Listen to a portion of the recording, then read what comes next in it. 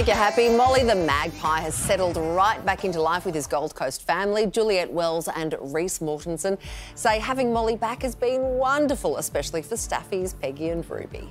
Look. Molly's back.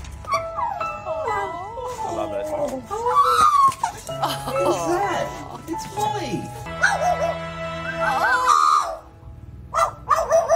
Oh, we needed this. The trio has uh, been spending, enjoying each other's company like they've always done. That's included a few baths for Molly and a few naps in the sunshine.